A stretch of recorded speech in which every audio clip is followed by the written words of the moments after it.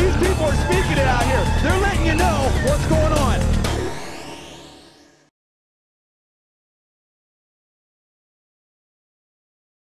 In a shocking and disappointing piece of news, conservative new media viewers, Senator Jon Kyl of Arizona has said that Barack Obama is holding the national security of Americans hostage to Obama's far left political agenda.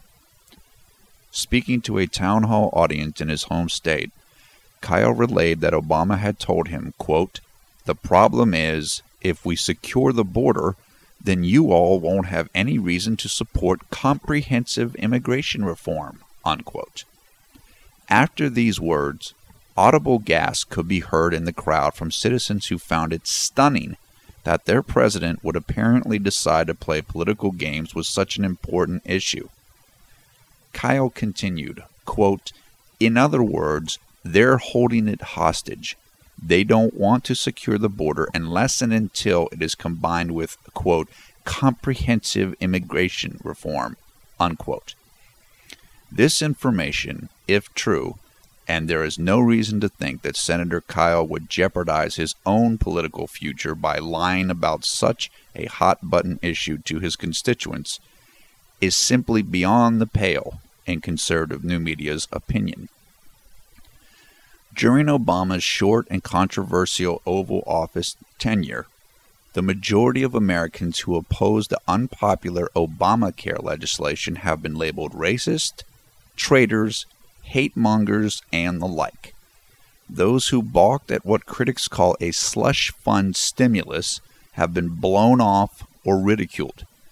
We have seen a black man, Kenneth Gladney, be reportedly beaten by SEIU union goons who were allegedly enforcing the White House's edict to punch back twice as hard.